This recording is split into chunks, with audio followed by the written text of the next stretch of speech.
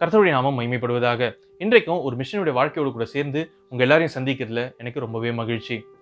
நாம இந்த உலகத்துல வாழ்ந்து கொண்டிருக்கிறோம். நம்ம பெற்றுக்கொண்ட ஆண்டவராக இயேசு கிறிஸ்துவை எத்தனை பேருக்கு அறிவிக்கணும்னு சொல்லிட்டு நம்ம பிரயாசப்பட்டிருக்கோம். நம்ம தினந்தோறும் நம்மளுடைய நண்பர்களை பார்க்குறோம். தினந்தோறும் நம்மளுடைய அயலார்களை நம்ம பார்க்குறோம். தினந்தோறும் நம்முடைய ஊர் மக்களை நம்ம பார்த்து கொண்டே தான் இருக்கோம். ஆனால் அவர்களுக்கு ஆண்டவராக இயேசு கிறிஸ்துவ பற்றிய சுவிசேஷத்தை கொண்டு செல்றதுக்கு நாம் எடுக்கக்கூடிய பிரயாசங்கள் என்ன அப்படிங்கிறத நம்ம யோசிச்சு பார்க்க வேண்டியது ரொம்பவே அவசியமாக இருக்குது இன்றைக்கு நம்ம பார்க்கக்கூடிய மிஷினரி அவருடைய வாழ்க்கையில் அவர் பெற்றுக்கொண்ட ஆண்டவராக இயேசு கிறிஸ்துவை அறிவிக்கிறதுக்கு என்னெல்லாம் பிரயாசம் எடுத்தார் அப்படிங்கிறது தான் இன்றைக்கு நம்மளுடைய வீடியோவில் நம்ம பார்க்க போகிறோம். அது மட்டும் கிடையாது அவர் ஒரே ஒரு வார்த்தை அதாவது அவர் அவருக்கு ஏற்பட்ட ஒரே ஒரு இமோஷன் என்னன்னா அவருக்கு ஒரு நித்தியமான சமாதானம் வேண்டும். அந்த சமாதானத்தை அவர் பெற்றுக்கொண்டாரு. அதே சமாதானத்தை மக்கள் எல்லாருமே பெற்றுக்கொள்ளணும்னு சொல்லிட்டு அவர் ஆசைப்பட்டாரு. அவர் எதனால அந்த ஆசையை அவர் அவருடைய மனசுல உருவாச்சு அவர் அதை எப்படி மற்றவர்களுக்கு கொண்டு போய் சேர்த்தார் அப்படிங்கிறது தான் இன்றைக்கான வீடியோக்குள்ள பார்க்க போறோம். வாங்க இன்றைக்கான வீடியோக்குள்ள போகலாம்.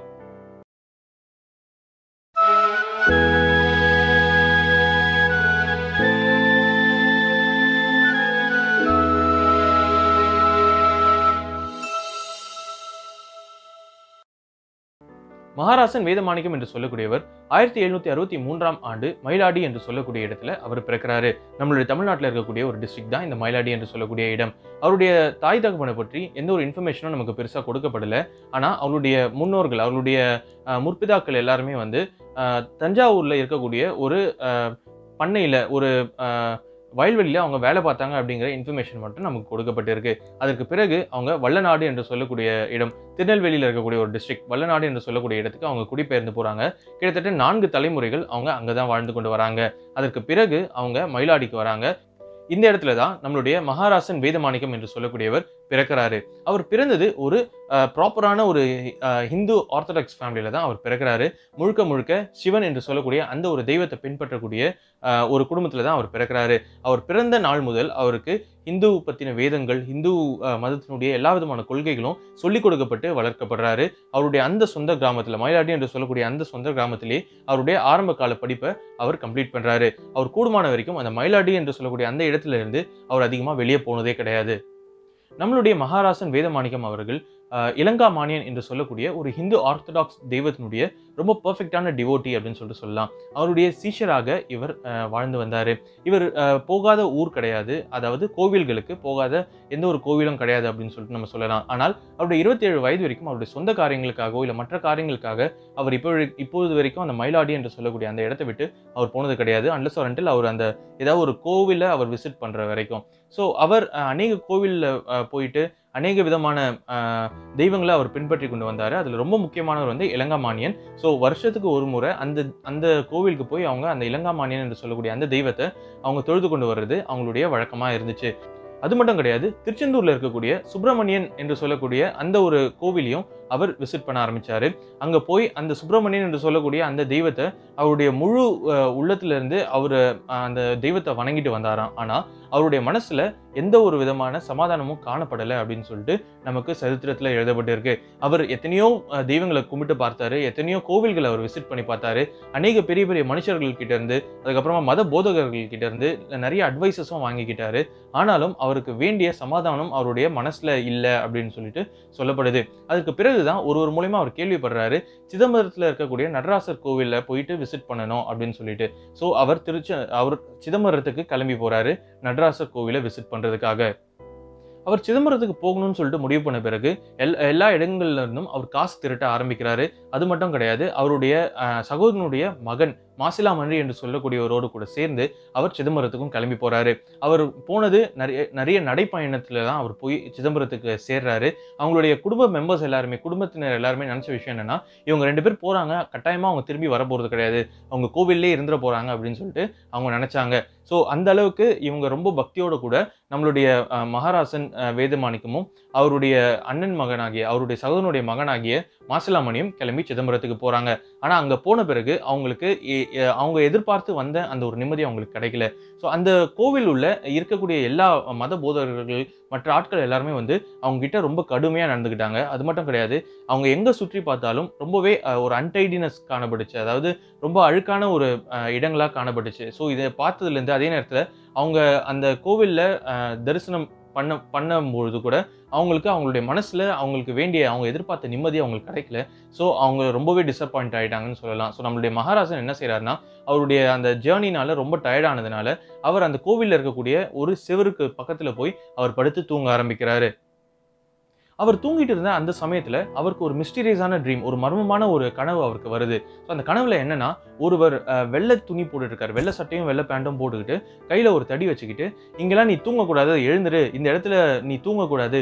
இது வந்து ஒரு அழுக்கு நிறைந்த இடம் இது பரிசுத்தம் இல்லாத இடம். நீ எழுந்து தஞ்சாவூருக்கு போ. அங்கே நீ உண்மையான கடவுளை தேடி கண்டுபிடிப்ப. நீ இங்கெல்லாம் தங்கக்கூடாது எழுந்துரு அப்படின்னு சொல்லிட்டு அவருக்கு சொல்கிற மாதிரியான ஒரு கனவு அவருக்கு வருது. நம்மளுடைய வேதமாணிக்கம் துடிச்சு பிடிச்சி எழுந்துக்கிறாரு. எழுந்துட்டு அவருக்கு கனவுல வந்தபடி கனவுல வந்த அந்த ஆள் சொன்னபடி அவர் தஞ்சாவூருக்கு கிளம்பி போறாரு. தஞ்சாவூர்ல அவருடைய உறவினர்கள் ஒரு சில பேர் இருந்ததுனால அங்க போய் அவர் தங்க ஆரம்பிக்கிறாரு. சனிக்கிழமை நைட்டு அவங்க தஞ்சாவூருக்கு போய் சேர்றாங்க.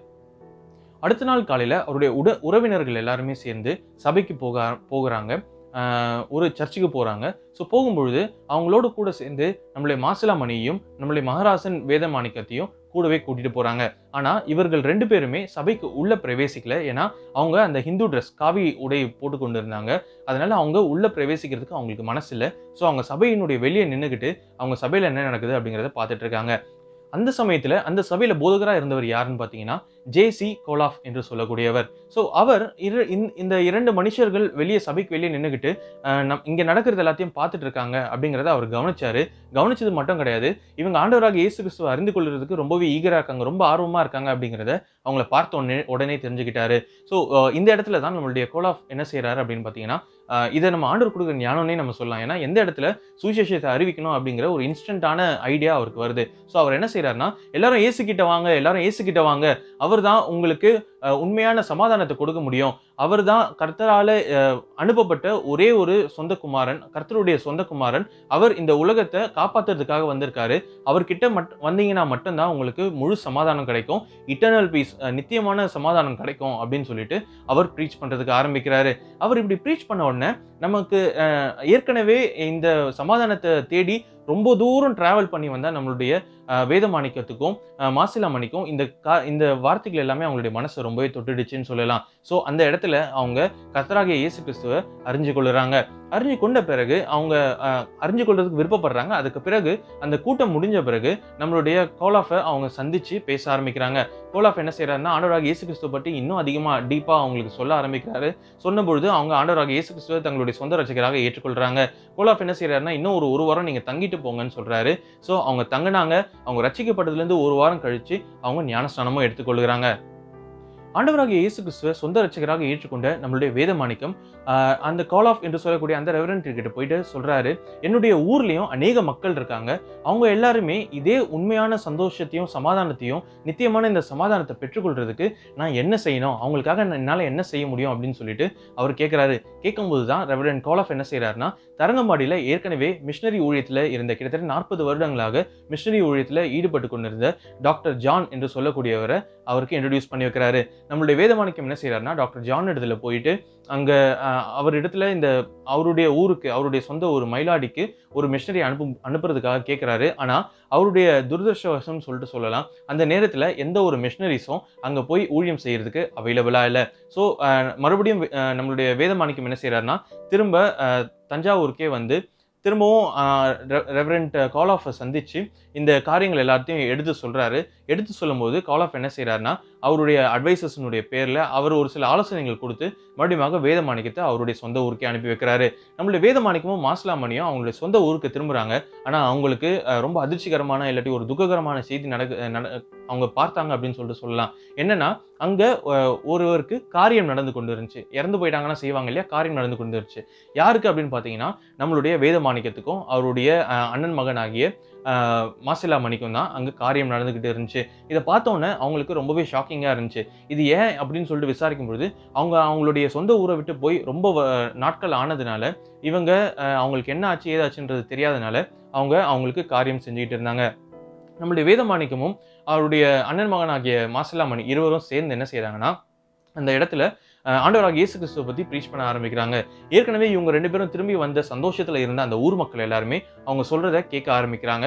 ஸோ இவங்க தஞ்சாவூருக்கு போனதை பற்றியும் அங்கே அவங்களுக்கு கிடைச்ச எக்ஸ்பீரியன்ஸ் பற்றியும் ஷேர் பண்ணுறாங்க அதே நேரத்தில் ரொம்பவும் சத்தமாக இயேசு கிறிஸ்து மட்டும்தான் உண்மையான தெய்வம் அப்படின்னு சொல்லிட்டு அவர் கத்துறாரு.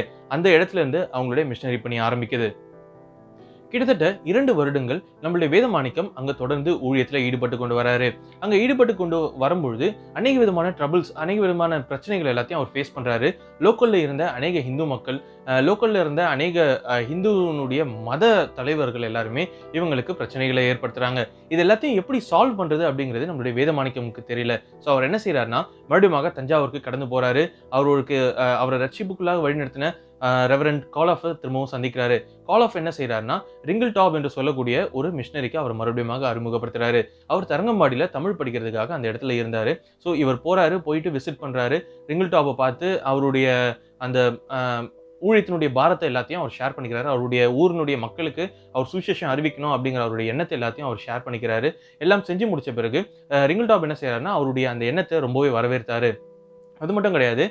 அவரும் அவருடைய ஊருக்கு மயிலாடிக்கு வந்து அவரை சந்திக்கிறேன்னு சொல்லிட்டு ப்ராமிஸும் பண்ணாரு.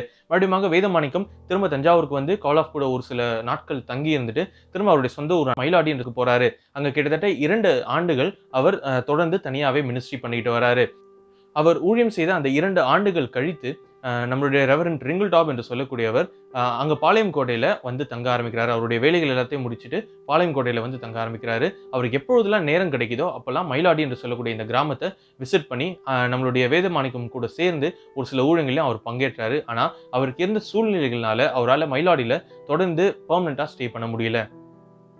ரெவரன் ரிங்கிள் டாப் மயிலாடியில் தொடர்ந்து தங்குறதுக்கு அவருடைய விசா சரியாக பெர்மிட் பண்ணாத காரணத்தினால அவரால் அங்கே தங்க முடியாதனால அவர் தான் அதனால தான் அவர் பாளையங்கோட்டையில் தங்கிட்டு இருந்தார்.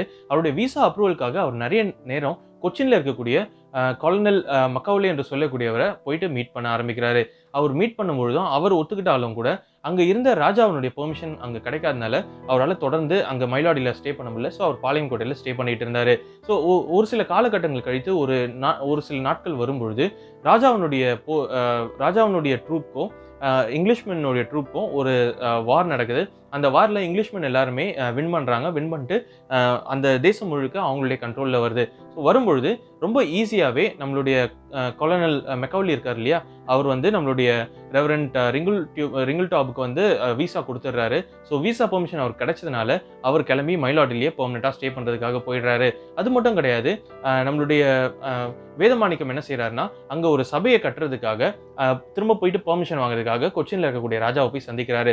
ராஜா என்ன சொல்றாருன்னா நான் சுசீந்திரம்ல ஒரு வேலையை நான் விசிட் பண்றதுக்கு வருவேன். அப்படியே நான் உங்க ஊருக்கு வந்து அந்த இடத்த நான் விசிட் பண்ணி அங்க சபை கட்டலாமா வேணாமா அப்படின்னு பார்த்துட்டு நான் பெர்மிஷன் தரேன்னு சொல்றாரு. ராஜா சொன்ன மாதிரியே ஒரு சில நாட்கள் கழித்து அந்த இடத்துக்கு வராரு சுசீந்திரத்துக்கு வராரு. அப்படியே மயிலாடியை விசிட் பண்ணுறாரு அங்கே சபை கட்டுறதுக்கும் பெர்மிஷன் கொடுக்குறாரு. சபை நல்லபடியாக கட்டப்படுது. ஒரு சில நாட்கள் கழித்து நம்மளுடைய மயிலாடியில் ஒரு பெரிய பஞ்சம் ஏற்படுது. அந்த பஞ்சம் ஏற்படும் பொழுது நம்மளுடைய வேத மாணிக்கத்துக்கும் அதே நேரத்தில் அவரோடு கூட ஊழியத்தில் ஈடுபட்டு கொண்ட ரெவரன் ரிங்கிள் டாபுக்கும் அந்த சுச்சுவேஷனை எப்படி ஹேண்டில் பண்ணுறது அப்படின்னு சொல்லிட்டு தெரியல. அவங்க அதிகமாக ஃபண்ட்ஸ் அவங்களுக்கு இல்லாததுனால அவங்களால அந்த சுச்சுவேஷனை சரியாக ஹேண்டில் பண்ண முடியல. நம்மளுடைய வேதமாணிக்கம் என்ன செய்கிறாருன்னா தஞ்சாவூருக்கு போய் நம்மளுடைய கால் ஆஃப் என்று சொல்லக்கூடிய அந்த ரெவரண்ட்டை சந்தித்து அவர்கிட்ட உதவி கேட்டு கால் ஆஃப் என்ன செய்கிறாருன்னா கொஞ்சம் ஒரு சில ஃபினான்ஷியல் உதவிகளை இங்கே இருக்கக்கூடிய மயிலாடி பீப்புளுக்கு அவர் செய்கிறாரு திரும்பமாக வேதமாணி வேதமாணிக்கம் அவர்கள் மயிலாடிக்கு திரும்ப வந்து அந்த அந்த மக்கள் எல்லாருக்கும் அவர் கொடுத்த அந்த பணத்தின் மூலமாக உதவிகளை செய்து முடிக்கிறாரு. இந்த காலகட்டங்கள் இப்படியே போயிட்டு இருக்கு. ரொம்ப வெற்றிகரமாகவே வேதமாணிக்கமும் நம்மளுடைய ரெவரண்ட் ரிங்கிள்டாவும் சேர்ந்து இணைந்து நிறைய ஊழியங்களை செய்கிறாங்க அவங்களுடைய ஊழியத்தினுடைய பலனை அவங்க அவங்கக்கிட்ட கன்வெர்ட் ஆகக்கூடிய மக்கள் இடத்துல காணலாம். ஏன்னா அநேக மக்களை அந்த ஊர்ல இருந்த அநேக மக்களை ஆண்டவராகிய இயேசு கிறிஸ்துவனுக்குள்ளாக அவங்க வழிநடத்த ஆரம்பிக்கிறாங்க. அவங்களுடைய வாழ்க்கையில் அவங்க என்னதான் இன்னல்கள் சந்திச்சாலும் எத்தனையோ பிரச்சனைகள் அவங்களுடைய வாழ்க்கையில வந்தாலும் ஏற்கனவே சொன்ன மாதிரி அவங்களுடைய லோக்கல்ல இருக்கக்கூடிய ஹிந்துஸ்னாலையும் அந்த ஹிந்து மத தலைவர்களாலையும் அவங்களுக்கு எவ்வளோ பிரச்சனைகள் வந்தாலும் அது எதையுமே பொருட்படுத்தாம அதே நேரத்தில் ஆண்டவர் மேல மட்டும் விசுவாசம் வச்சு அவங்க ஆண்டவராக இயேசு கிறிஸ்துவை பற்றிய சுவிசேஷத்தை அறிவிச்சிட்டு வராங்க. அந்த இடத்துல அநேக மக்கள் அங்க ரச்சிக்கப்படவும் செய்கிறாங்க ஒரு சில காலகட்டங்கள் கழித்து நம்மளுடைய ரெவரன் ரிங்கிள் டாப்புக்கு அவருடைய உடல் நலன் ரொம்பவே கோளாறு ஏற்படுது. ஸோ இவர் என்ன செய்யறாருன்னா வேதமாணிக்கத்து கூட தொடர்ந்து ஊழியத்தில் அசஸ் பண்ணுறதுக்கு ஒரு இங்கிலீஷ்மேன் இருந்தால் நல்லா இருக்கும்னு சொல்லிட்டு ஃபீல் பண்ணி அவர் அவர் இடத்துல சொல்றாரு. ஆனால் நம்மளுடைய வேதமாணிக்கமுக்கு நம்மளுடைய ரிங்கிள் டாப்போடு கூட சேர்ந்து இணைந்து செஞ்ச ஊழியத்தில் அவருக்கு ரொம்பவே பெருசாக பலன் கிடைச்சனால அவங்களுடைய பார்ட்னர்ஷிப் ரொம்ப சூப்பர்பாகவே இருந்துச்சு.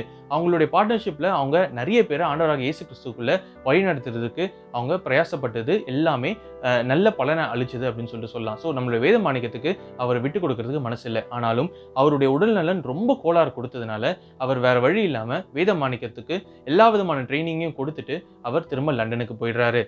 அதற்கு பிறகு அங்க இருந்து இன்னொரு ஒரு மிஷினரி இவரோடு கூட ஊழியம் செய்து சேர்ந்து ஊழியம் செய்யறதுக்காக வராரு. ரெவனன் மீட் என்று சொல்லக்கூடியவர். இவரோடு கூட ஊழியம் செய்ய வராரு. ஆனால் அவர் வர்றதுக்கு கிட்டத்தட்ட ரெண்டு ஆண்டுகள் எடுக்குது. அந்த ரெண்டு ஆண்டுகள் முழுவதுமாக வேதமாணிக்கம் தனி தனி மனிதனாக தான் அங்கே ஊழியம் செய்கிறாரு அவரும் மீண்டும் அதுக்கு அடு அடுத்து வரக்கூடிய காலகட்டத்தில் அந்த இடத்துல ஊழியம் செய்கிறாங்க அநேக ஆத்துமாக்களை சுந்தரிக்கவும் செய்கிறாங்க இப்படியே நாட்கள் ஓடுது வருடங்கள் ஓடுது. அவங்களுடைய ஊழியமும் வளர்ந்து கொண்டே போச்சு. ஒரு சில ஆண்டுகள் கழித்து நம்மளுடைய வேத மாணிக்கத்துக்கு அவர் வயதாகும் பொழுது அவர் எல்லா பொறுப்பையும் ரெவரன் மீட் கிட்ட ஒப்படைத்து விட்டு அவரை அவர் அங்கே இருக்கக்கூடிய மிஷன்ஸ்க்கு அவர் ஹெட்டாக ஏற்படுத்துகிறாரு அது ஏற்படுத்தின பிறகு கூட வேத மாணிக்கத்துக்கு கிடைச்ச மரியாதையும் அவருக்கு இருந்த அந்த ஒரு ஸ்டாண்டர்டும் இறங்காமல் அப்படியே தான் இருந்துச்சுன்னு நம்ம சொல்லணும்.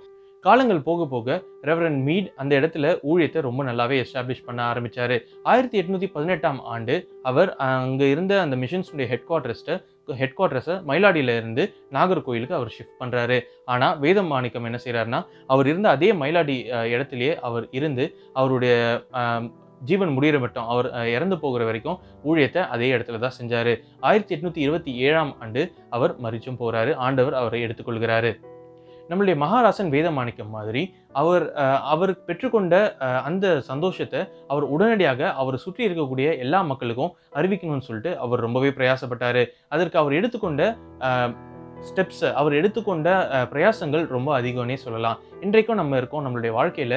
நாம் பெற்றுக்கொண்ட இந்த சந்தோஷத்தை நம்ம பெற்றுக்கொண்ட ஆண்டவராக இயேசு கிறிஸ்துவ மற்ற மக்களுக்கு நம்ம அறிவிக்கிறதுல எந்த அளவுக்கு பிரயாசப்படுறோம் அப்படிங்கிறத நாமே யோசிச்சு பார்க்க வேண்டியது ரொம்ப ரொம்ப அவசியமாக இருக்குது இன்றைக்கும் நம்ம ஆண்டவர்கிட்ட நம்மளை ஒப்பு கொடுத்து நம்மளுடைய மற்ற அயலார்களுக்கும் நமக்கு நம்ம சுற்றி இருக்கக்கூடிய நம்மளுடைய நண்பர்களுக்கும் ஆண்டவராக இயேசு கிறிஸ்துவனுடைய அன்பை கொண்டு செல்றதுக்கு ஆண்டவர் உதவி செய்வாராக.